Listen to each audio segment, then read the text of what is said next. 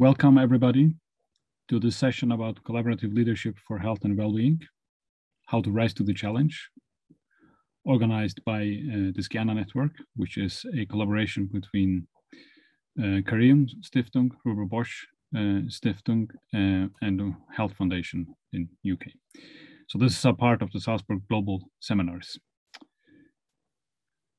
What we have worked with here at um, at the I'm a co-chair of this Eh, of the fourth cohort of the Sciana, is collab collabor collaborative leadership for health and well-being, of course. And why does it come in? This is very a very important question in times of change. We all agree on that things are not the same. It's not just because of COVID, but it's also because of COVID. We are moving very fast technologically wise, and that has moved us faster with COVID. We are having a challenge with how can we think holistically and reductionistically at the same time? How can we move from being very isolated in silos to working together? How do we grasp the complexity and work cross jurisdiction, cross disciplines, and also outside of the normal clinical health settings? It's also very much about a demand for more, but with the same resources, or maybe even less. But it's also about how can we, with leadership, both help people who work, so be kind, with people who work in the, in the health settings, but also so we can take care of also the weakest in our societies, leaving no one behind. To use leadership also guided by the SDGs, to work with health in all policies, and be a part of moving forward to, to a post-COVID world that is better for you as leaders, for the ones that you lead, and for the health in society. So this is very much about societal and technological readiness, about literacy, and very much about collaboration and compassion in leadership. So with, with me here today, I have uh, Francesca Colombo, so head of health division at OECD. Uh, Nick Davison, head of well-being at the John Lewis Partnership, UK. Richard Kirby, chief executive of the Birmingham Community Healthcare uh, NHS Foundation. Uh, Sarah Hughes, chief executive of Center of Mental Health in United Kingdom. And Judith Safford, patient expert and advocate at Ruma Cura Foundation. So welcome to them. And what we are going to do uh, after after a, a, short introduction here is is to go into some uh, questions on for you audience uh, on on leadership where you where you define leadership. And just a little bit about uh, the Sciana network. So this is a network which which was established by these three mentioned before mentioned uh, uh, foundations in order to strengthen leadership uh, going forward but also between, in this case, three countries. Maybe it should be more in the future, but working together both in countries and across countries and with different kinds of leadership, so people in different positions in this part. And and we will have three of these Sciana members giving a three minutes uh, explanation on, on how they have worked with this challenge, this leadership challenge, and can enlighten us a bit into that part. So with uh, no further delay on, on my talking here, so let's go into the very, very exciting pizza. It might feed your curiosity, but not your stomach. So let's get to it. You can join it on Slido, as you can see there, or, or also use the scanning device there. And what we ask you about here is to choose the three that you think are most important. So compassionate leadership, visionary, comfortable with uncertainty, inclusive and democratic, silo buster, emotional intelligence, engaged listener, and self-aware.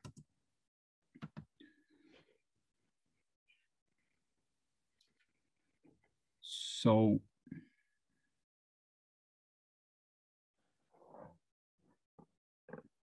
and if we if we then think a little bit I mean, you should vote while I'm talking. What what is it? What is it that we really need going forward? If we agree on, as as many of us do, that we really need to step up in health, we really need to have a, if not a new paradigm, a new way of working. What is it we need if it's different from what we needed in the past? And with the new technology that we can use to help us, but that we also need to grasp with because we also hear a lot of fatigue of technology, a lot of confusion with complexity of technology. So how do we get these things in and what, what are the main traits of leadership that we really need in order to, to get these things in? So um, hopefully we, we are getting some results in that we can also use to, to look at here. So, um, okay. Emotional intelligence as very high, inclusive and democratic, comfortable with the uncertainty. I, I, so I'm a futurist, so I think that is definitely very important. Mm. So inclusive and uh, yeah, self-aware is at the bottom. Inclusive and democratic and emotional intelligence looks like equal top scorers in this. That's quite interesting. And they're even going further on this one. And, and just to be clear, we are not expecting that you don't think the others are, are important. It's just the three most important on this part. So my my favorite, I must say, is engaged listener. Um, but I can see that's quite low on the list. But we can take a discussion on that uh, later. But I'm not disagreeing with with that they're all very important. Also, the ones that we see on the top. So let's uh, let's move on in the program. Thank you very much for uh, for the for um, voting and being a part of of this part. And uh, with with this, um, I think we are ready to move on to uh, to the next part, which which is the lightning talk from from uh, one of each of the three Sciana challenge groups that we have. So they have three minutes e each. And after each one, I will ask the two other ones to, to give a reflection of no more than one minute. And I will be a very strict timekeeper. So that's why you can see that they're just ready to go ahead.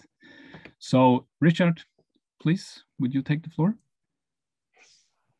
Thank you very much for the um, introduction, and, and it's good to talk to you all from um, a, a, slightly rainy uh, Birmingham in the United Kingdom um, this afternoon. Um, the group that I was part of were interested in looking at how healthcare organisations can improve the care we provide to our patients by improving the health and well-being of our colleagues, of the staff who work with us in our teams. And in that context, we were particularly interested in the idea of compassionate leadership, which I noticed didn't quite make it to the top um, three of the pizza, but maybe I will be able to persuade you to change your, your minds. Um, we looked at a number of examples from different sectors and um, different countries. So we had a look at how John Lewis, as a private sector organisation in the UK, owned by its colleagues, works, and we'll hear a bit from um, Nick later. We looked at the idea of compassionate leadership as developed by Professor Michael West and, and, and his body of work, and we're really privileged to have a chance to talk directly to him. And we looked at the idea of self-led health and care teams as, as pioneered by the Buurtzorg um, organisation and, and increasingly spread um, uh, you know, across a range of places. And I think it's clear to us from all of that that this idea of compassionate leadership, of looking after our colleagues so they can look after our patients is really important and that healthcare organizations who engage and empower and just care for our colleagues will provide better care to our patients. And I think it's increasingly hard in the world I think we're in to see how we can provide good care if we don't also care for our colleagues. And if we needed to be taught that lesson, the experience of the COVID 19 pandemic, I think, has taught it us um, really, really clearly. And, and to take just a couple of quick examples from my own organisation providing community health services to the city of Birmingham, about um, a million people in, in the centre of the UK we relied on hundreds of teams to make small innovations to respond to the pressures they found themselves in. So whether it was using technology differently, whether it was changing the way they cared for patients, whether it was changing the way they worked with, with colleagues in other organizations, we just couldn't do it all centrally. We had to rely on them to make their, their own changes. And centrally, we put our effort into making sure that they were well cared for, whether that's um, protective equipment, whether it's vaccinations, whether it's testing, whether it's counselling.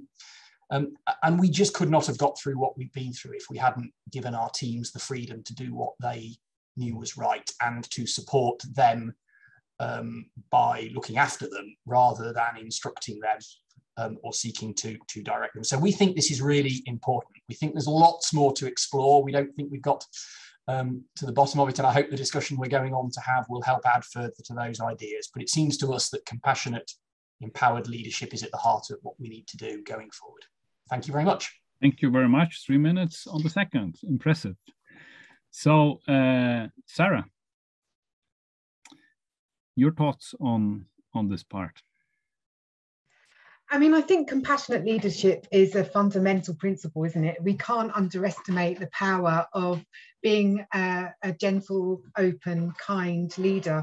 But I think we also need to remember that compassion is a privilege too. So, you know, effectively, to be a compassionate leader, you have to have the organizational conditions to enable that to thrive. Mm -hmm. Thank you. And Judith?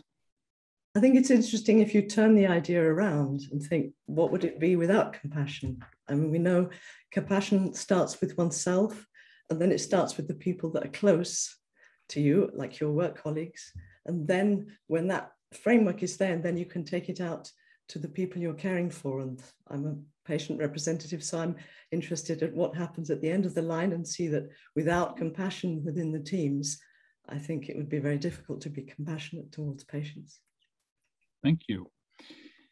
And now if we can uh, ask uh, Judith to take the floor for her three minutes. Thank you. So I'm joining from Switzerland today and thrilled to be here. As I mentioned, I'm a patient with autoimmune con conditions, a cancer survivor, and our Sciana group has been looking at leadership that has su supported the empowerment of citizens for health and well-being. And our approach has been to find such organizations and study them, ones that started very small, one person or, or a small organization grew and went to scale. And we've interviewed 11 such leaders from well-known organizations like Patients Like Me, Patients Know Best, but also grassroots movements uh, in Africa, Australia. And we profiled these leaders using the Harvard Systems Leadership Model profiling them around the biography, the leadership qualities, the community that they were serving, and the system that they work in. And our work is ongoing, but here's a few first thoughts. Firstly, these leaders all had something in common. They were patients, they were close relatives of patients, or they somehow could identify with patients and knew what it was like to be an outsider without a voice a woman in corporate finance whose child was ill with sickle cell disease and started an advocacy movement for better care. A Harvard professor who traces his engagement for the underserved back to his family's experience as German Jewish migrants and is working now to get, help patients get access to their reports. Secondly, all these leaders were well established in their own fields. They were health professionals, they were academics, they were corporate people, they were campaigners, and they used those established networks and skills very effectively for their, for their empowerment work. Thirdly, there must be thousands of such movements, and it is surprising how few have actually gone to scale. And finally, these leaders apply and live collaborative leadership. They are flexible and bring together multifaceted faceted approach, approaches. They are listeners and cooperative and bring diverse stakeholders together for a, for a joint vision. And they understand about ambivalence and uncertainty, how to be disruptive and yet supportive, how to tackle power inequalities with collaborative work. So in short, a tentative conclusion is that leaders who empower citizens for empowerment understand the complexity of the system and navigate it with collaborative leadership. Mm. Thank you very much. Thank you. Richard, would you give your minute on thoughts on this? Yes, thank you. I mean, thank you, Judith, because there are some wonderfully moving stories of individual leaders in there. And I think that perhaps the, the, the really interesting next question for me is how to build, if you like, collaborative leadership at the other end so that when folks like that try to engage with large organizations providing services. They're met with open arms and they're met with people who see that they can add value and be partners and um, help in a common cause, which, which is often not the experience, I think, um, mm. at the moment. So I, I think that's the kind of next really interesting question. So thank you very much. Mm -hmm. Thank you. Sarah? Yes, thank you, Judith. I always like listening to you when you're talking about this um, space. I think there is something really important here about leaders also telling their story. And mm. so, you know, it takes often quite a lot of courage or bravery, however you want to say, you know, insight, um, ability to reflect, to be able to kind of tap into some of that. So, um, and that's not a natural kind of um, resource that people have, which is why I'm not surprised that emotional intelligence is so high on, on people's list of things that are important. Mm-hmm. Yeah, good point. So let's let's take the last one of your of your tree, Sarah. Can you take the floor, please? Yes, absolutely. So um, our challenge group were really looking at the role of social movements, really thinking about how do we how do we work with social movements? How do we kind of adopt some of the social movement way of doing things that, that seems to achieve change in many respects, as we heard from Judith? So we were very much motivated by the anti-vax movement and our concerns about climate change. And we spoke to people who are operating currently within social movements, those people from Be More Pirate, Extinction Rebellion, um, health campaigns like Equally Well. And we know that health has adopted a social movement approach for quite some time. So we see um, the use of value based conversations, collective action towards improvement, sustaining change through collective action. So, you know, we know that this sort of language, this way of thinking, that the value on, placed on co production is already a part of our system it may not be in a meaningful way in the way that we'd like, but it is there. But we also know that there's quite a lot of anxiety about social movements, especially the anti vax movement right now. So, with all of that said, we also found that social movements do provide opportunities for diverse voices. They do promote innovation. They also provide independent accountability of the health system. So, you know, they hold a mirror up and perhaps that it's not about turning health systems into social movements, but there is a significant and moral and ethical reasons why we, we shouldn't. Um, we don't want to colonize social movements. We've got to remember that social movements and the idea of bureaucratic health systems as they are are not natural bedfellows. So, what does that mean? So, we effectively, our emerging ideas are about creating uh, health systems that are really open to meaningful engagement that systems that can adopt movement ideals like the principles around co-production this values-based practice these you know um, permeable organizational boundaries which allow uh, fluid and open transparent conversations.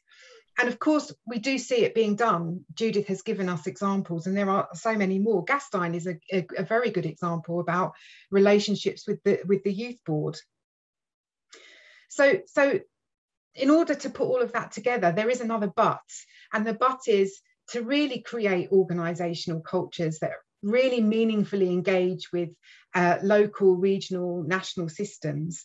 We do have to tackle the true nature of leadership. The true nature of what compassionate and collaborative approaches mean and be really realistic about you know the power struggles the barriers that we all face to operating in those ways in that way and, and really uncover um, some of the tools that we all need to, to embed and and but face the truth of the difficulty of it first. Thank you. Thank you very much. So judith I believe that that particularly in the health system, health workers and people involved do want to, to listen and to see these changes. But I think that partly we're sort of stuck in, in established systems and it's very hard to break out of it. And that that you can't you can't really change things until you have the resources and the time to kind of start adopting new ideas and being open to those new ideas. And we're just holding on because if we don't hold on, everything's going to fall apart, sort of feeling. That, that's my mm-hmm. impression that there's a lot of goodwill throughout the system at different levels, but somehow it's got to be supported that it happens. Hmm. Yes. Richard? Thank you. Um, Thank you, Sarah. Perhaps building a bit on Judy's point, and as someone who leads an organisation, the idea of turning organisations into social movements is a bit scary, if I'm if I'm honest. Um, it seems to me, though, that there's something about open leadership that's really important in here, and being, you know, you know, kind of being open about what what we, the leadership team, know, sharing the information, being open to hearing what's being said to us. It is a, I, I think, an important idea for me from what you're what you're saying. So, thank you. Mm, thank you. Thank you very much, all three, both for your um, uh, for your story, for your um, description of what you have worked on, and on on your comments. And I think it's it's uh, if I just take the three uh, three of the uh, main points from each of you. I mean, freedom freedom to to do what is right and with the support, uh, which was was one part, and and um, from from Richard, and and then uh, Judith on on this connection with and the understanding uh, and compassion with the with the patient, being a patient or being connecting with uh, with the patients, and and and and then seeing the social movement as accountability is is actually quite uh, quite a good way to say this. So I mean, you could also say this is the consciousness on on getting the bureaucracy not to go totally rigid uh, in it. So so very very good uh, points here. So now I would uh, also ask the audience to send in any comments, questions, reactions in the chat, so we can also take that. Uh, but also um, ask uh, Nick and Francesca if um, if they have any reflections on these three ones, three first ones. So, Francesca, maybe maybe Bogi more than uh, reflections, uh, also question because everything that's been said make a lot of sense. Obviously, the open leadership, uh, the compassionate leadership, uh, the flexibility that is required.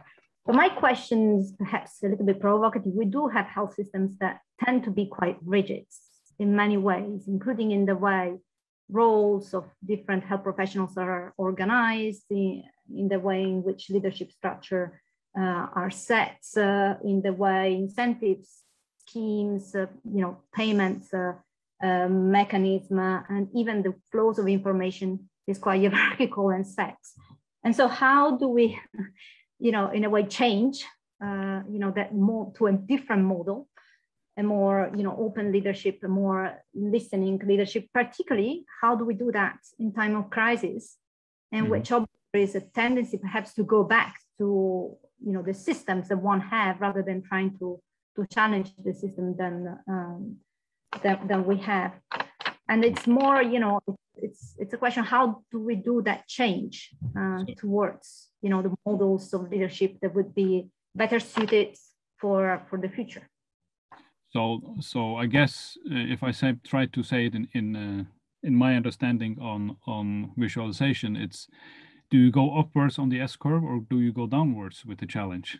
So do you go back to the comfort zone or or do we define the new comfort zone and and take the discomfort in in that time? Okay. Who wants to um, take the first response?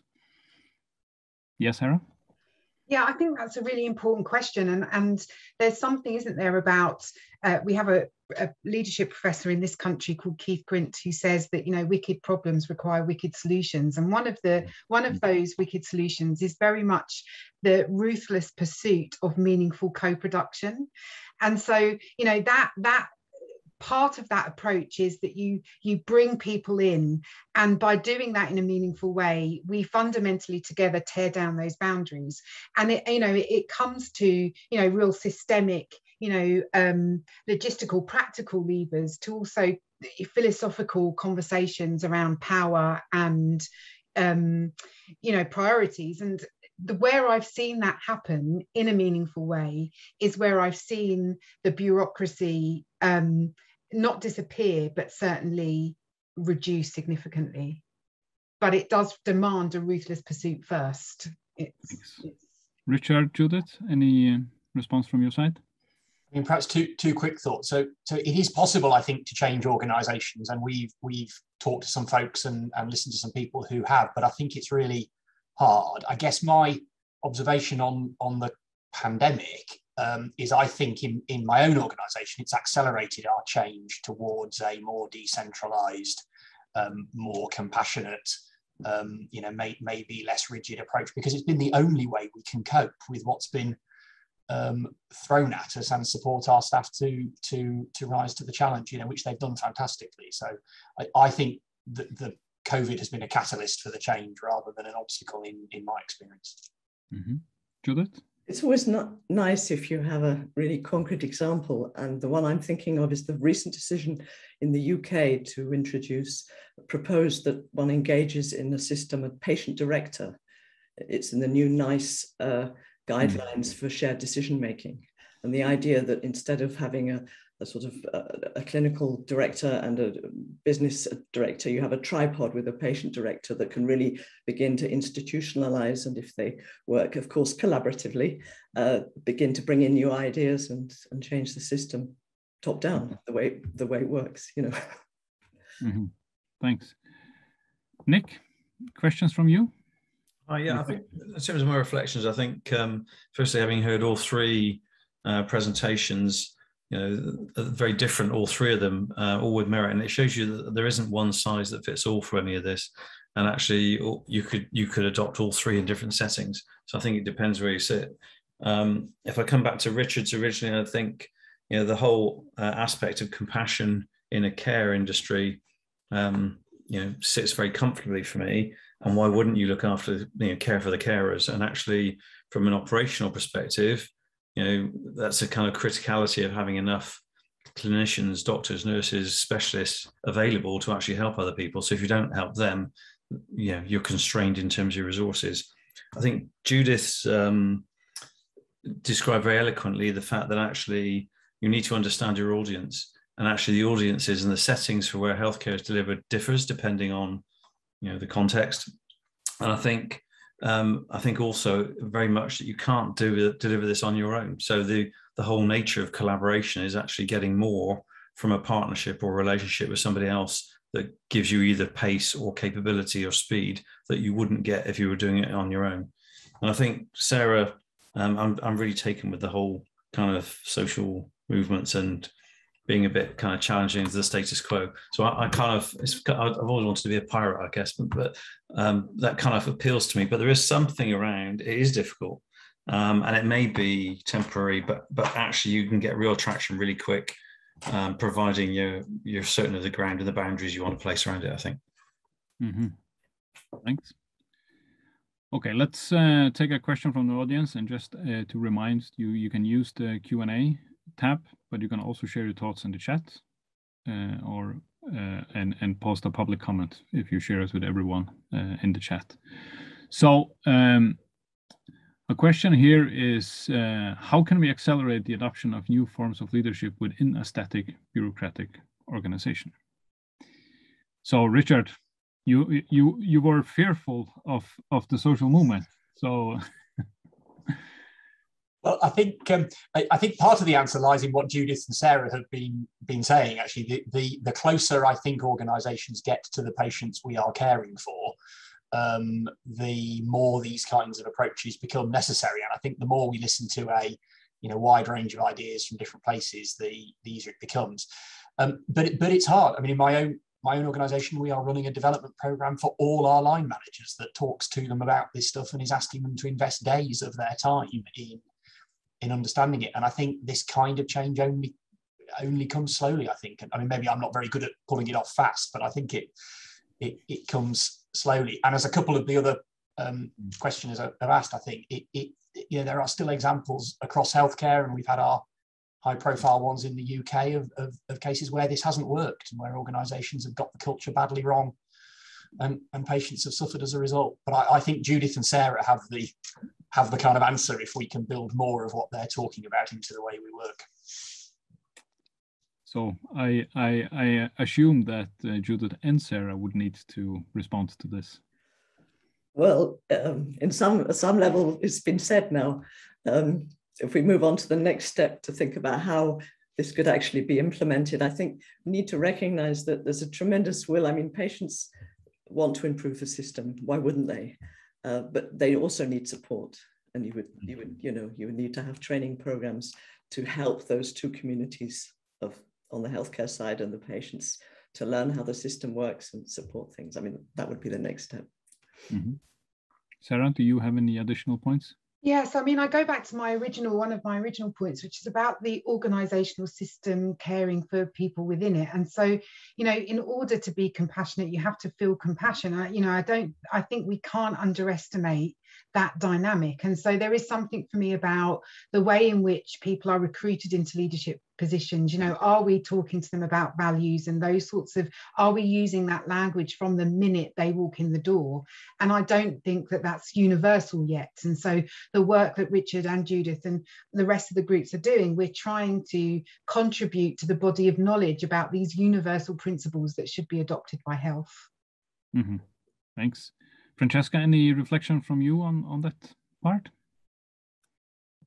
I concur, although some of the observations that have been made uh, are relevant to you know the, the, the, the, delivery level of a particular organization. And my interest is perhaps more at the macro level of yeah. policy, uh, yeah. which is incredibly rigid in many ways. You know, it's mm. with uh, obviously institutions uh, which are set. And for me, there is a wider dimension. For example, uh, Sarah, I think you mentioned training, but isn't there a bigger agenda even of the skills that we uh, with, with, which we train health professionals more broadly, which have been very much oriented towards the knowledge of uh, you know the medical knowledge, with the technical, the clinical knowledge. But in a world that is changing in complexity of uh, care environments and care needs, which are changing, probably we need different type of skills for um, mm.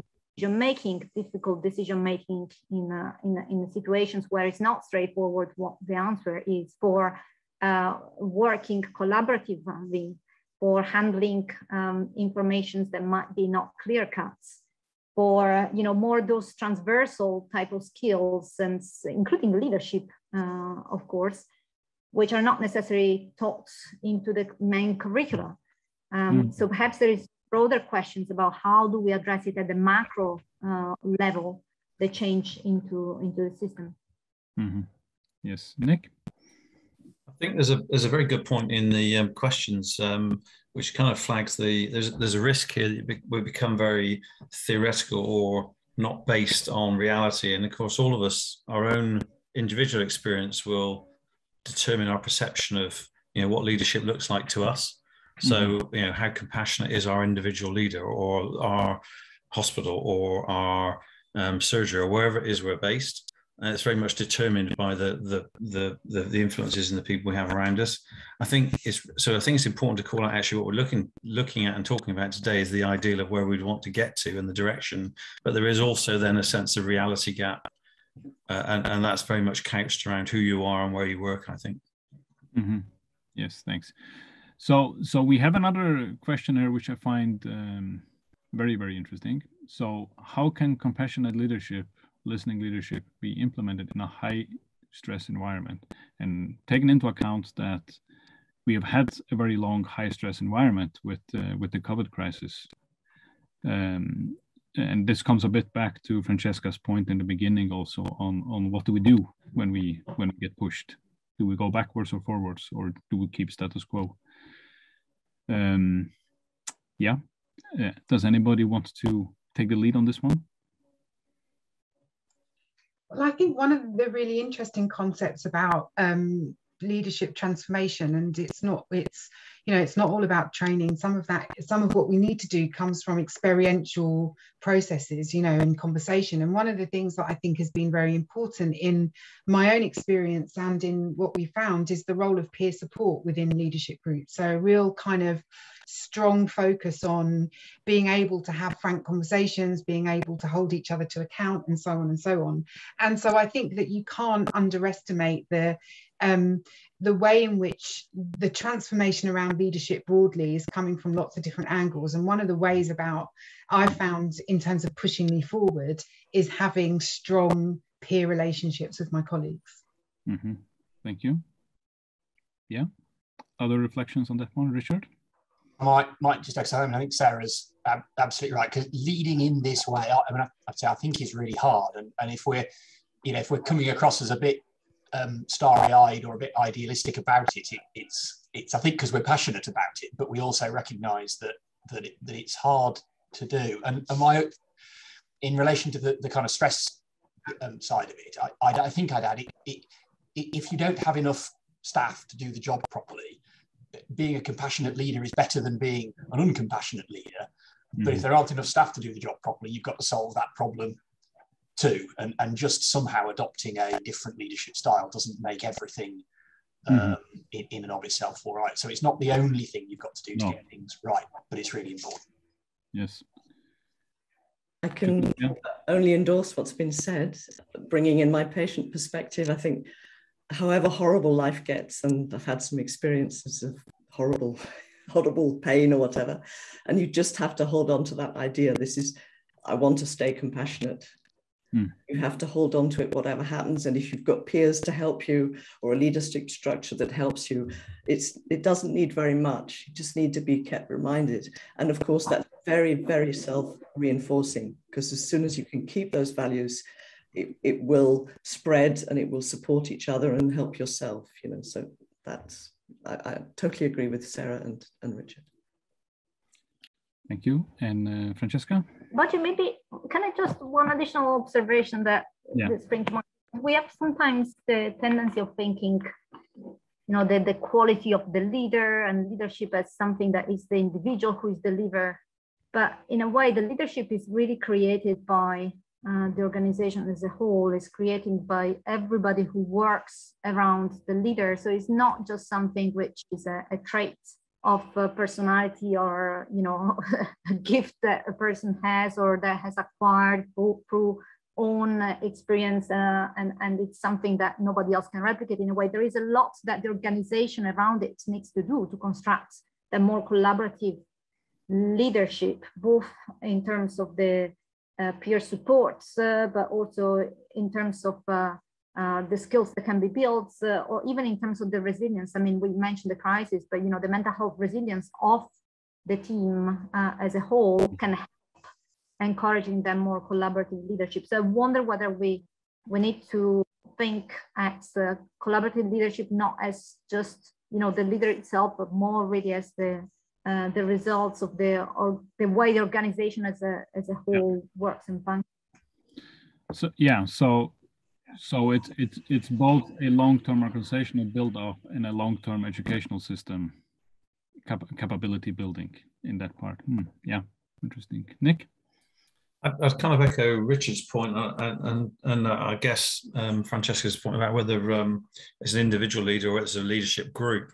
And for me, it comes back to role modeling. So particularly, in, we've seen this in COVID in times of crisis. Mm-hmm. Um, you know, if you're going to talk about compassionate leadership or collaborative leadership, you know, people who work for you will look to see that demonstrated every day. Um, and you know, the if you if you're not behaving in that way, it kind of falls on stony ground pretty quickly. I think. Mm-hmm. Yes. So there is a quite an interesting question here. So do we need to provide examples of bad characteristics of leadership and as well as good leadership in order to get this understanding. So, so, so what are bad characteristics? I think we've got quite a lot of examples around that in the world at the moment, don't you? we just perhaps need to read a newspaper or go on Twitter. I think there's lots of that. Yeah, but but is there a point in in order to to get this across understanding? Because um, I mean, we, we can agree on what the good things are, and and I think one of the nuances here is is that there might be nuances on how you understand compassionate leadership because you can't always sit 20 people around the table and use two hours to take a decision right? And you who work in health systems you know that. So so there are some nuances which probably need to be worked on in order also to get the understanding in in building this because we need we need a health system as as francesca was saying the structural part and the educational part to take this on. So so how, how do we do this Francesca, you have a, a comment?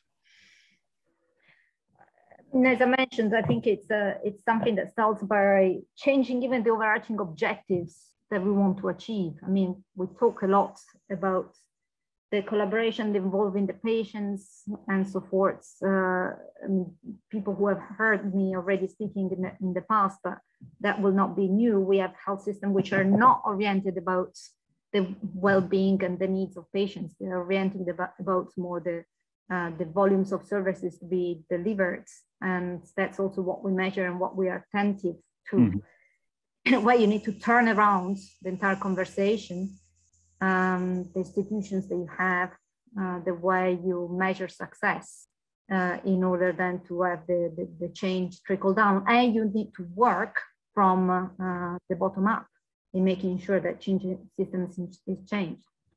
Mm -hmm. Thank you. Any, um, I'm a bit disappointed I can't get five bad traits of leadership from you. I mean, you, I can get one from each. That's not so difficult before we go to the next section. Can I get, can I get all of you just to say the worst trait? You don't have to mention persons. What, what is the worst trait you see uh, frequently leaders? I think a huge issue has been um, the, the, lack, uh, destroying trust mm-hmm. by not telling people exactly what what things are, sort of mm. or, or, or, or confusion, deliberate deception or confusion. Mm-hmm. I think that's been an incredibly destructive force, particularly in the in the pandemic. Thank you, Sarah a lack of insight i mean a, a lack of mm. um, a, an ability to be reflexive and self-critical really. Uh, i think we've seen a lot of failure is, to do that. is that a lack of interest or real genuine interest or a lack of passion? No i mean a lack of insight into yourself. So a lack of yeah, yeah so a lack of ability to know yourself and you know what motivates you and why sometimes you know you're behaving badly. Uh, yes. Okay thank you. Richard I would probably say it's something about just being uncaring as a leader of the people you are you are working with, and, and a you know and a focus on a particular result at all costs, regardless of uh, of the impact on those you you work with. Yes, Nick. I would say probably intolerance, um, intolerance of other people's opinions, their views, not prepared to listen to other um, other people, and by nature, therefore, determining that you're right, irrespective of whatever hmm. else is being presented. Francesca? Um, maybe the self-interest, being having, you know, as a goal and objective, the self as opposed to the mm. goods of uh, the organization or the institutions or, uh, you know, mixing up what is my role oriented towards in a way. Yes, so that's a lack of the collaborative understanding and the common goals. Yeah, good. Thanks. We'll now move on to the next session with the lounge interview of uh, Nick and Francesca. And we are starting with you, Francesca, if that's okay. You are responsible for, for the OECD work on health, and you have a very good understanding of international health systems and policies. And you often advise leaders on how to uh, on how to better healthcare. So the question is, um, when thinking about a resilient Europe in the next five to 10 years, where do you see the greatest need for collaborative leadership for health and well-being? Yeah, and it's, it's not an easy question, I must say. All these uh, questions about collaborative leadership are not straightforward, but for me, there are three main levels uh, that needs to be addressed. The first one is the, the pure level of collaborative leadership in the sense of the collaboration among leaders um, which uh, I think we have seen examples in the context of the current pandemics of, uh, you know, global collaboration uh, falling apart. In a context in which the crisis is truly a global crisis, um, the international collaboration across countries has uh, uh, had some failings or struggled to um, take, take uh, foods. it took a lot of time particularly at the beginning of the pandemics, but there are issues that are remaining uh, right now, you know, looking at uh, even things with uh, the working on the supply chains and uh, the availability of uh, essential uh, mask, medical products and equipments and what happened in terms of cross countries trade restrictions and all sorts of things. Moving on obviously to all the, the questions about how to ensure a more global equitable distributions of, uh, of vaccine and so forth. So I think there is that level of uh, collaborative leadership at the global level that is important to address. Um, I think there is an issue of collaborative leadership that we have probably mentioned quite a lot since, uh, you know, for the remarks that we have heard from, from the speakers today about how to make um, the leaders work much more collaborative with communities but also would say with the scientific community more broadly, with the, the care professionals, and obviously with the decision uh, maker. And I think for me, uh, a critical issue which is uh, needs to be worked upon much more, it's how to um, announce the, the, the, the, public trust. The public trust makes and facilitate that more uh, open collaborations uh, that bring together different type of actors uh, uh, into, into the system. And the third type of uh, leadership may be that, um, you know, that is needed in collaborative leadership is when we look at the working across different sectors. Mm-hmm. Um, think about uh, horizontalities between the health and social care sectors, or think about addressing issues around mental health um, conditions that do require much more integrated approach uh, between the health sector, but also the education sector or the, the, the employment uh, sector. So how do we create a common goals that facilitate that uh, collaborative leadership? Yes. And I guess this comes a bit into uh, to the next question. So, which is uh, we know that effective and cross-sector collaboration does not occur occur naturally. What will help us meet this or these needs. And if it goes back a little bit to what I was I was saying, I mean, for me, uh, when looking at collaboration both within sectors and then across sectors, there are first of all some things that relate to structural or institutional issues that needs to be addressed. If you take, for example, health and social care and the lack of collaborative leadership across mm -hmm. the sector, often these sectors are governed by different funding streams uh, with different payment mechanism. Uh, there are different type of incentives, in some cases even different legal uh, framework that govern that. And it's quite clear that the leadership and the collaborative leadership is much more different if there is no alignment across those institutional mm. issues, structures. Uh, I think there is an issue of uh, you know aligning more also the more at the management and delivery uh, structures around much more commonality of objectives uh, they can achieve uh, even with having more common and shared performance frameworks.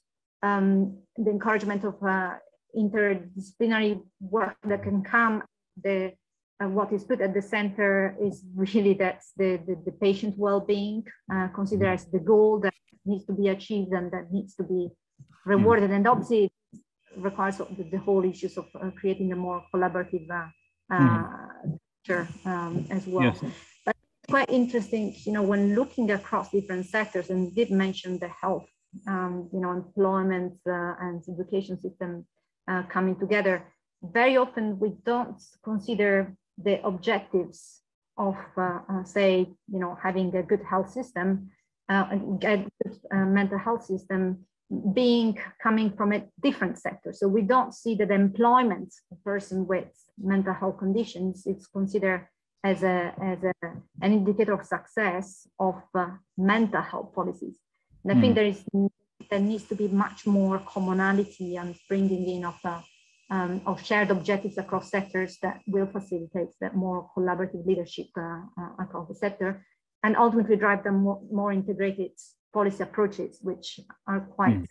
fundamental to, to address the complexity of health needs. Thanks. And this comes back to one of your comments before on, on the system does what you measure it for, right? So, so, and OECD has done extensive work on measuring well-being and societal progress. So the question was actually how leaders can can best apply this, but but this is also about. I mean, do we need to do we need to refigure not just what we measure, but also what we want to use it for, in order to really initiate this change that uh, that you are asking for? That, that, that's for sure, and it's uh, it's not a straightforward uh, change, but there are things that can can help, and that you know countries have been doing first, obviously by thinking, um, even in terms of a conceptual framework that guides, uh, you know, the notion of of health and well-being. You know, what mm. exactly do we mean, and that conceptual framework clear at the the level of the organization, at the level of of policy. Um, there is definitely the issues of measurement, and we have done quite a lot of work at the OECD with the, the Better Life uh, Index, um, you mm-hmm. know, the, the different dimensions of, uh, of well-being. Mm-hmm. But there is a question of are we uh, embedding into our more regular um, statistical system for measuring success of uh, countries, uh, those more alternative uh, indicators of well-being, what type of metrics are really used and mm. are they used also to engage citizens in, in, in things that matter to them so can we use the metrics in ways that they themselves the, the citizens can see what matters to them the information that feeds into policymaking. um, mm. and mm. there are the issues that you mentioned the issues of incentives which is quite important uh, for a policymaker but some countries have uh, are experimenting also with things around well-being uh, budgeting uh, tools mm-hmm. Uh, you know mm-hmm. that can be a, can help to drive uh, uh, Uh, you know the system to move towards certain uh, type of, uh, of objectives mm-hmm. thanks and and I, I think I think you you half answered my next question on where you want to see this research applied, but I, I can understand that the well-being tools is, is something that you really want to see. I don't know if there are others as well. Uh, well-being is important for us as OECD. We are, in terms of the, the health agenda, we're really trying to push very much the notion, and it has been mentioned by all the speakers, about really putting people at the center of uh, health um, by uh, starting with, with the way we measure you know, success. So are we really measuring whether health systems are making a difference to individuals or not, and not just the individual itself, but also population, so the population mm. health. Yeah. You know, and from that follows all sorts of uh, ways in which you uh, then organize uh, the system uh, uh, that you have around. Mm-hmm. And and are there any good examples of cities and or countries who we should look at as frontrunners in this as examples? On, on uh, well-being, there are a number of, uh, quite a large number of countries that have uh, started to, to do work on the notion of uh, well-being and also measuring framework. Um, nearly half of, uh, of OECD countries and uh, you know I think about 10 of them that have some specific mechanism for embedding the notion of uh, well-being into, mm. into within central uh, governmental policy. So there is quite a lot which is being done. There is a lot of talk which is made often about the experience. It's not a European country, it's, uh, it's New Zealand. um, which uh, really puts the notion of well-being as being uh, at the center of uh, the, their entire, you know, government budget and government uh, uh, policies. they did set up a, a living standards framework, a dashboard of, indicators that cut across mm-hmm. the entire um, government to try really to measure progress. they have a, a a well-being budget, uh, which is used then to identify policies and priorities uh, that would at the central level really make a difference for individuals. And it could be that for making uh, improvements into health, you need to invest in other uh, parts of the, the health system. So it's really this idea of applying a well-being lens to you know all sorts of policies from health, but also things like uh, housing or uh, immigration policies. So New Zealand is really very much uh, looked at as an example, but there are um, indicators uh, of well-being and budgeting which are used in other countries as well. In France, in uh, in the budget law a few years ago, mm. there were you know indicators of well-being. Um, the, the same was applied in a, in in Italy with measures of progress uh, and with uh, you know also reporting and for, forecasting around uh, well-being. I think Sweden, some of the Nordic countries, Sweden with with a framework again from mm. measuring the support being. So it's it starts to be something that um, the many many different countries are talked about. Uh, obviously, the implementation is not straightforward mm. because the in, uh, in many countries is that uh, functioning by-line ministers. So even if you try to, you know, make sure and bring together a notion which is more uh, about the, the, the, the, wealth and the health uh, of uh, societies as a, as a whole, you then have uh, often uh, still ministries which are organized by, you know, at, mm. at their own level and hmm. sometimes very difficult to, to break those uh, ceilings and, and barriers, even if you have tools such as you know well-being budgeting, which uh, which help to uh, mm. convey um, the and uh, center all the efforts uh, around a more common goal. Thank you. So we will come back with uh, questions for you also after Nick. So you have given us a very good ecosystem perspective. And Nick, you uh, you can help us dig deeper into how individual organizations are leading health and well-being from within. So you joined John Lewis Partnership, and when you did, did so, you were given a unique task, I've understood, to redesign and create a workplace health service, and you did that. So so you acted on it. So later on, this initiative uh, later on this initiative evolved, and you created an integrated health and well-being service. So tell us a bit more about that. What were you able to achieve with the health and well-being service? So, yeah. Hi, Berger. Yeah, thanks. Um, so for those that don't know, um, I work for John Lewis Partnership, and that that's um, we're retailers. So we sell um, food through our Waitrose um, shops and um, non-food items through John Lewis uh, department stores and online. Um, we're, we're about 80,000 um, partners, as we call them. The partnership, the partnership is actually a co-owned business, the largest in the UK. So we all own a little slice of the business. So we don't have shareholders in the true sense. Um, we turn over about 11 billion pounds a year. Um, we've got 19 million customers. So we're quite a big organization. Um, health services were first introduced into the partnership when it when it became a, um, a co-owned business in 1929, um, and and for nothing more than at that time there wasn't a national health service, um, and people couldn't afford to actually pay for medical treatment or consultations, uh, and obviously our services have changed over the years since. Um, when I um, when I joined the partnership 10 years ago, I was asked to redesign or look at um, what we were doing because it was disjointed and become quite unclear. Uh, and we've created something which is very much outcomes focused. Um, and so it's been interesting listening to the talk today about what drives change, because often it's growth or crises in my experience. And, and actually, if you're in a period of um, kind of even keel and everything's kind of floating along quite nice, nicely. There's no kind of imperative to do any of those things. Um, so we we have uh, an in-house occupational health service uh, which um, comprises 25 um, nurses Um, we have uh, an outsourced physiotherapy and mental health service, which provides uh, cognitive behavioral therapy and counseling free of charge to all our employees uh, that need it. Uh, and we have an, um, an internal team of wellbeing practitioners that um, respond and deal with 40,000 calls a year, and that's around everything from bereavement, emotional um, aspects of people's lives, like relationship breakdowns, through to financial assistance and support.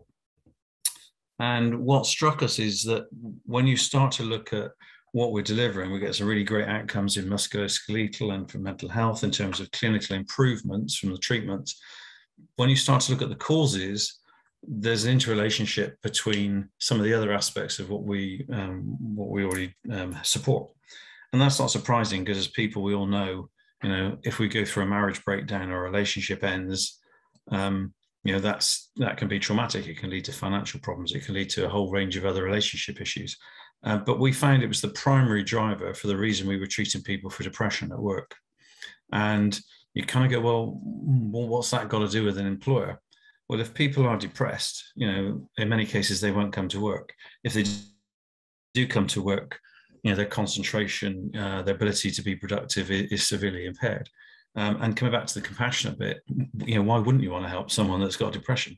Um, so we've brought those two teams together, but with a third aspect, which is our um, which is our leisure team. Um, our, our founder back in 1929 believed that actually um, social well-being um, and, and the culture, the arts, sport, activities, music, and the like played a really uh, important role in enriching people's lives and giving them some balance and we invest significantly in that. We've brought all three of those teams um, together. Uh, we think about well-being in terms of um, not just social well-being, physical, mental well-being, but also you know, the financial, um, emotional um, aspects as well. And we're doing some work at the moment to link that to just individual, not just individual, but organizational purpose as well. And, what we're trying to do is create a holistic approach. So actually get to the aspects of people's lives proactively where positive psychology or relationship advice and guidance before it gets to a place of relationship breakdown which leads to depression um, you know we try and stop that cycle before it's happening. Early days um, but um, we're encouraged. And i think i think where it comes from is actually being outcome focused and being clear on what you're trying to measure um, the pandemic of course has got in the way of some of that um, not least the social because of um, you know the restrictions on being able to meet um, and do things that we would have done in last year and this half of this year in previous times. I'm going to stop at that point because it gives you a chance to to delve deeper and, and um, I may have said too much, so um, you know.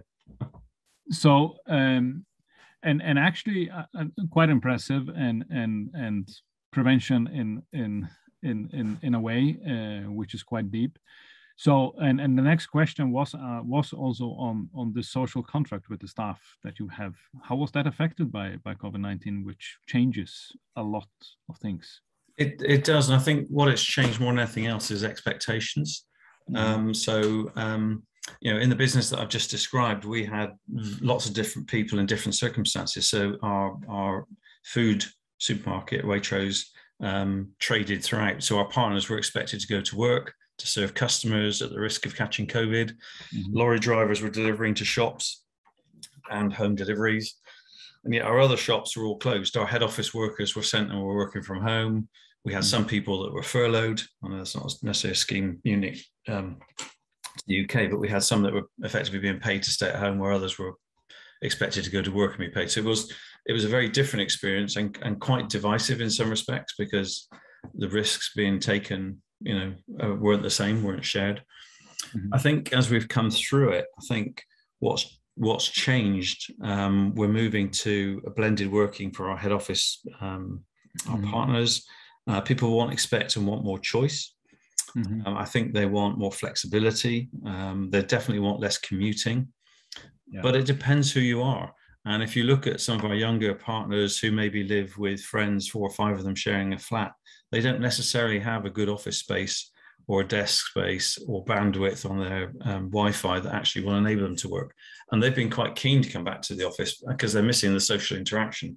So again, as people, we, we will want different things. And, and parents with schools that were closed, you know, we're glad to see the children go back to school um, or be able to get away from, you know, homeschooling. Um, mm-hmm. so I think the expectations have changed. Um, and I mm-hmm. think un- underlying all of that, I think our partners want to see a business and an organization that cares for them and it's seen to care for them and, and, and go the extra mile, um, you know, to demonstrate that. Mm-hmm. Thanks. And just to the audience, we uh, we would still really like to have your reactions coming in as well. So we will take that in in a few minutes. So um, so I think I mean this comes also back to what the question to Francesca was. So so um, I mean does this go upwards or downwards on on the organizational S curve? So so I mean can can we make something uh, the changes that that will come? Can we make them positive? Yeah, yes, I think so. I think uh, once the cork is out of the bottle, the genie's out. I think you can't put it back in. I think um, you know people have tasted different aspects of working lives forced upon them, forced upon you know our business. Um, but actually, there's bits to that which they like, and there's bits that they've kind of realised that they don't. And I think some of that will translate into people deciding to do different things. But I think it also brings a greater focus on health and well-being in the workplace.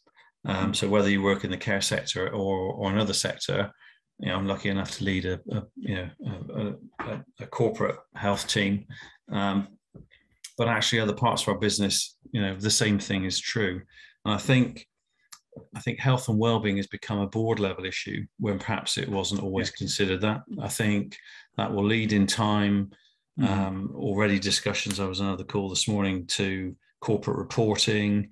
Hmm. Um, how does this fit with the eth- ethics and sustainability agenda? How does this fit with um, you know a whole range of other things that are interrelated? Because actually, our people's health drives productivity of organisations. It drives our ability to support healthcare hmm. systems and deliver care um, hmm. at the point it's needed. So I, I think it's done very positive things that, out of a crisis. I think we'll see a very positive uplift in terms of people's appreciation and investment and um, where it sits on the corporate agenda. So for me, it's a good thing. Thanks. Uh, very interesting. So, so just a a question where you say yes or no, both of you, before we go to audience questions. Will we have a head of well-being uh, as a role in every organization? Every, I mean, almost every. Hope so. Yes having been, uh, I am the head of well-being, so yes, I would say that. Yeah, you can you can have a head of well-being, or you can have a, a well-being function. You know, uh, I guess there can be different way of structuring that. You know, but mm. uh, mm. but definitely there is realization that that's very important. Although it's as much as the pandemics as as uh, as Nick you were saying, um, there is huge focus and attention on health and well-being, including in discussions at the highest uh, political leaders level. Health as an investment is being recognized mm-hmm. in the G20 uh, communique and, and, and so forth. I mean, the big question will be, will this remain? Uh, mm-hmm. And how do we continue to make sure that this uh, prioritization, focus and attention uh, remains even beyond uh, the, the current crisis moment, particularly as countries will start to realize that there are also huge debts to be paid off and how do we secure that there is still this uh, attention mm-hmm. to health mm-hmm. and well-being that remains front and center so so if i am uh, let me just be a little bit black and white so so in in we i think all three of us agree on that public health is extremely important but also to take care of the individual in that one and uh, health and all policies has been flagged for decades but now we're actually seeing companies having that on their, so to say, scoreboard to the board. But we are not really seeing governments to a large uh, enough extent. So, so is it that we need to have the company leaders to tell the governments to get their act together and push this? I think it'd be helpful because you get what you measure, and if you don't measure it, you're probably not going to aim for it. Um, I think it's a bit like the previous answer, uh, Bogey. If, if, I'm honest, the answer is probably no, not yes, because hmm. actually 90% of the people in, certainly in the UK work in small organisations and therefore wouldn't yeah. have.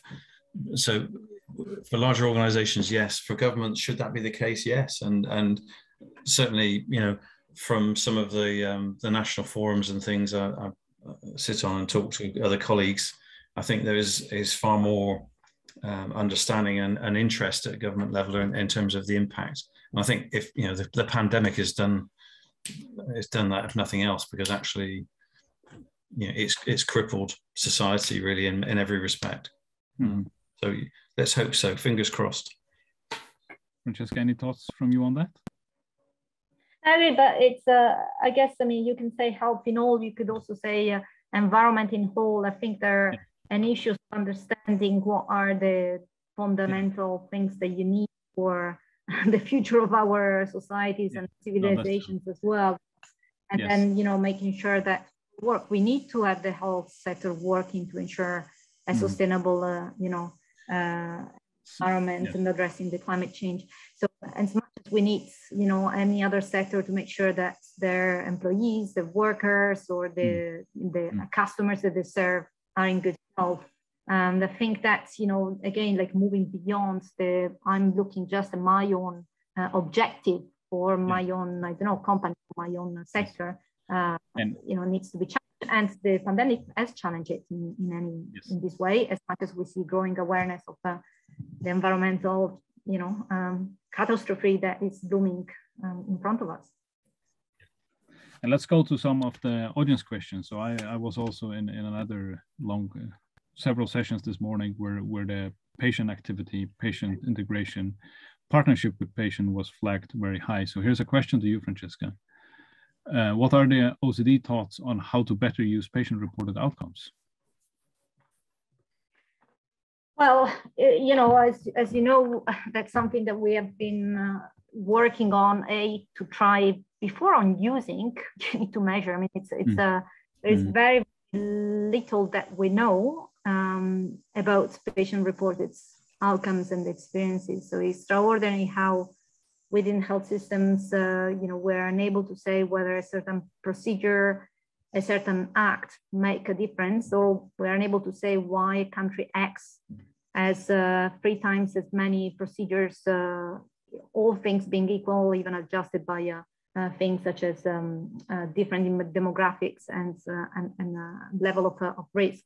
So before saying, you know, how we use it, I think we need to start measuring, and that's what we've been trying to to push mm. uh, very much the agenda for, really to, to change, you know, that what we we consider a successful health system is not how much you spend, it's not the volumes of services that you deliver, but it's ultimately the well-being and the, you know, how you're able to make a difference to uh, the people that are served by the health system.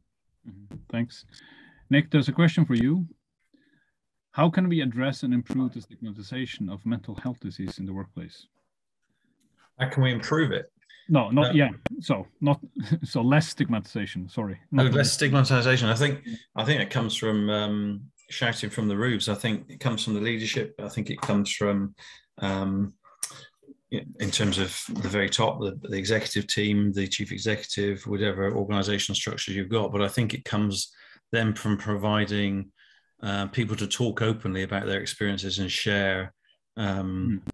where they've come from. We we use um, without prompt. There are other good social business media um, things around. We use Google Communities as a as a tool prolifically around the business. So we have, for example, a network of partners um, focused around ability. It's called the Ability Group, um, as opposed to disability, but it mm-hmm. includes mental health along with a range of other things. And those is partner led um, and they speak around it daily. There's posts and people post self-help and other types of information, but we um, we use um, our chief executive, for one of better, our chairman, vlogs on mental health. We'll promote around World Mental Health Day. Um, we've got a positive psychology tool we make freely available to everyone. So we've got 11,000 partners that use that regularly and mm-hmm. mind. Um, we will in October run a campaign to recruit more partners to try it. Um, we gather a kind of a pre-use um, on their sentiments around how they're feeling, around a whole range of things around their happiness, fulfillment, relationships, mm. sleep, and the like. And then over time, we'll look at the acquired learning and see what difference that makes.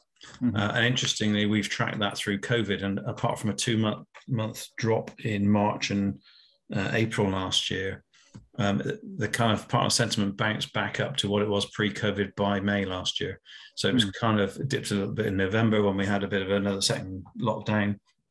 Um, mm-hmm. So it's been quite interesting because actually, whilst that's not everybody, it is an indication of you know people do get into a kind of a rhythm and an even keel even as they adapt to the circumstances yeah. around them.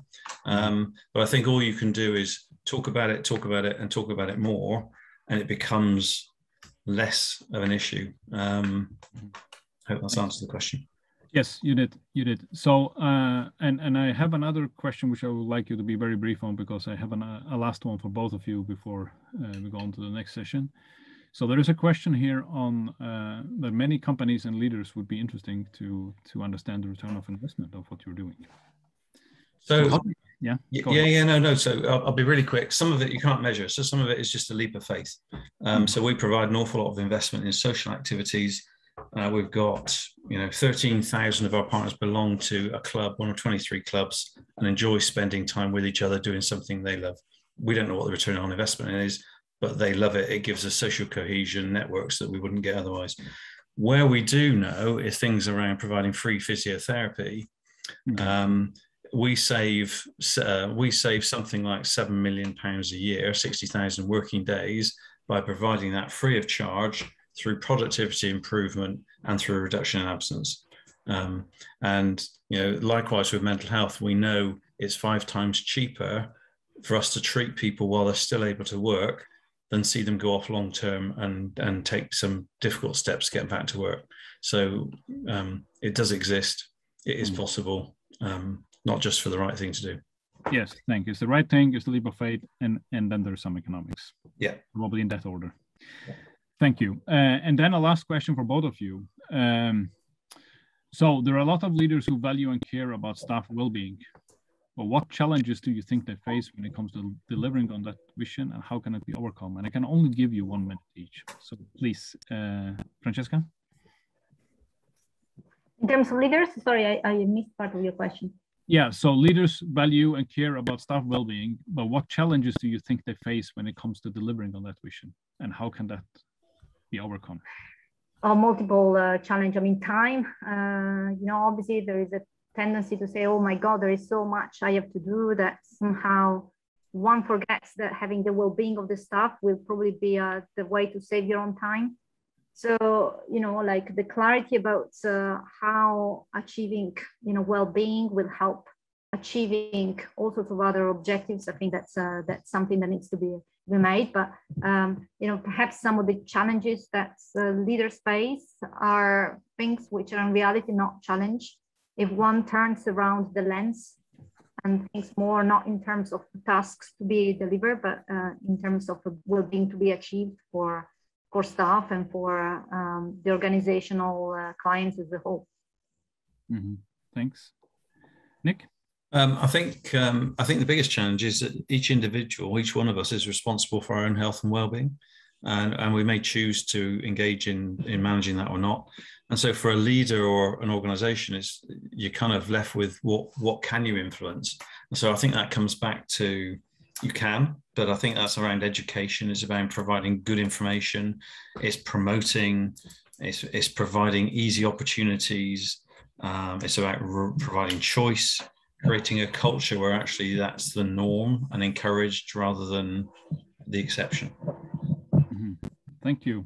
Thank you very much. And uh, really a pleasure to have you on here. And thank you for your discipline because we are on the minute where we should be. So I really, I really appreciate that. Uh, very good points here. And um, can I then call uh, Richard, Judith, and Sarah back? So thank you. Um, and to to Richard, um, Judith, and Sarah, um, what is the call to action to other leaders that are in the audience or to everybody in the audience? What is it?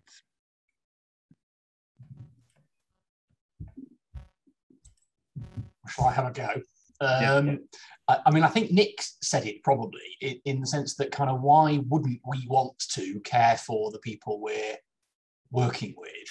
um, you know, because it to say because it's just the right thing to do might sound a bit feeble, um, but because it is just the right thing to do. Um, along with actually, I think you're hearing an in- increasingly large number of examples of organisations who have tried this and who see it that it helps them deliver their purpose too. So, you know, it is the right thing to do, and actually, I think that's what matters most. But it does seem to work um, if you stick at it over time and and and build something sustainable.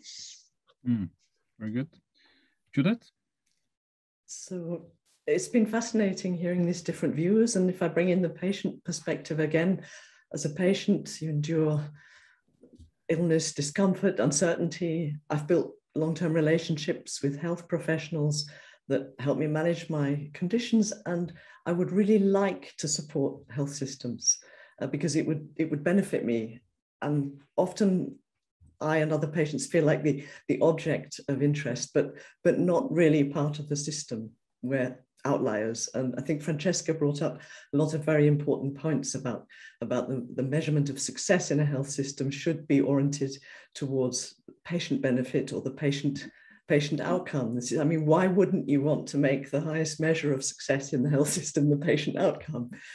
Um, so, so I'm very much in favor of shared decision making and, and patient outcomes because if, if only I and other citizens could trust the health system more and, and feel more associated with it, we, we want to be part of the solution. We, we have something to give through our lived experience and our knowledge of the health system 24 7. Um, and, uh, and that would that would, would, you know, the health system would benefit. And I think the leaders that we've been studying in our in our Sciana program have shown the value of empowering patients uh, they're going down a path that will lead to a more resilient, a more sustainable, and a, and a better health system. Mm. I think if you if you look at the COVID response in Europe, um, I think we probably agree it could have been better, and that we are learning the benefits of, or we're learning that we can't beat a pandemic without the collaboration of citizens. Mm-hmm. Um, one of the problems was, I possibly, is that in the crisis, the kind of instinct was to default back to the tried and test methods of top-down uh, command and control, and that is the opposite of collaborative leadership. So I'm for more collaborative leadership. Thanks. One one of the things I often say when I'm having discussions is person first, jurisdiction next. Maybe that's that's the point mm-hmm. going forward. Sarah? I mean, I think there's something for me that's come out here that that not much of this is at all possible if we don't have that critical analysis of oneself. So I just really want to draw on that perspective of reflexivity, not just being reflective, but really that kind of critical analysis of yourself and your systems, because I think it's not just about imagining that an individual can be compassionate or resilient, but that, that you need to have that reflected in your organizational system as well. But you also have to interrogate your own reasons for being there, for being in your role. Is it self serving? Is it really about, you know, being engaged in communities and offering hope and inspiration? If, you know, you really do need to interrogate all of those because I think over the coming years, they are going to be challenged at a level we've probably never been challenged before, even at the height of the pandemic. So, uh, yeah. Thank, thank you uh, very much, and and I would like you, uh, both you three, and also Nick and Francesca, to uh, I will just wrap a bit off, but I will ask you to end off with a one-line call to action. I think you were you were more taking the take-home messages, which was the next questions, but you already did that. So so let's take a one-line call to action from all five of you uh, in in a minute or two. So if you can think, maybe maybe it's better to do it spontaneous, but now you have to think. Uh, and um, I would I would like to thank the the audience, but also you for for very good dynamic insights, and also to bridge this thing on on what I mean. There is the organizational and this the personal, and it is the organization that makes the person, and, and the other way around, and to be much more alert on on these things. Uh, and and i also i also really uh, i really do appreciate this this discussion on what is it we will need going forward not just what is it we we need now. Um, and and of course uh, as as judith was was saying if it's not about the patient outcome then what is it? Uh, what is it we want to do? But but but nevertheless the well-being aspect is also to where possible to avoid a lot of people becoming patients. It's not possible in all cases, but it's possible in some cases. So how, how do we how do we get this in? So so uh, so so how uh, and the cross silos is inside the same health institution. It's between health institution. It's between jurisdiction in countries. It's between countries, and it's definitely between disciplines. So so how how do we also revisit uh, that. So so if uh, can we just get the pizza? Not because I'm hungry, uh, just to revisit if we have had any changes in the pizza since we since we were there. Um, if that's possible to get that back on the screen. So uh, and did we have the results? I think that was what I what I hoped for. But but yeah, Okay, so inclusive and democratic came came clearly on top here, and emotional. Okay, so so just to take home for you that um, of course all of these silo buster is is on, on the bottom. So I think my conclusion, it might be jumping to conclusion, is that probably you need the other things in order to bust the silos. That could be a way to say it. Thank you. Can we take away that screen again? So um, now you're in the hotspot. So uh, Nick and, and Francesca, can I get your cameras on again? Please. So um, is there a volunteer to go first? The one line call to action. I, I'm pretty sure that Judith wants to go first, so she does. How do you know that? Okay, so you you get more buy-in from citizens if you empower them and enable them to help improve the system. Thank you. Francesca? Well, I guess uh, there's a window of opportunity. Take your chance to improve the system now. Thank you. Uh, Richard? So I'll go big picture. I think the really big challenges, environmental sustainability, tackling inequalities, integrating health and care, need us to be collaborative and need us to be compassionate if we're going to get anywhere near tackling them. Thanks. Sarah? I think it's for me, it's about don't try to colonize our social movements. Instead, embrace, think with them, work alongside, but yes, don't colonize. Don't colonize. Okay. Nick? Uh, for me, it's, it's, it's really simple. I suppose collaboration is not optional, so you can't do it on your own. Very good. Okay. And you in the audience, you got um, five words of wisdom. If you didn't write them down, I think we will send it to you on the email so so you can have that with you. I hope you have uh, enjoyed this session. Uh, I'm I'm very grateful for for both uh, the questions we got and and for the interaction we had here and and thank you to um, to the Gastein. Uh, I really think it's an important uh, thing to have this focus on health uh, yearly and doing this online in this way. Thank you very much for that. And of course, a huge thank to the Sciana uh, network and, and the vision and the aspiration with Sciana on pushing this agenda and hopefully uh, helping, uh, if, if not all leaders at the same time, uh, one leader step by step, a, a bit of the time. And, and let's take this to be a step forward. And, and uh, Nick, I, I think I will just uh, copy your, your three lines. I think I will put that on my social media. The right thing to do, the leap of faith, and then think about the business case. That was my version of it. So thank you. Thank you all. Thank you so much. Hope to see you soon somewhere.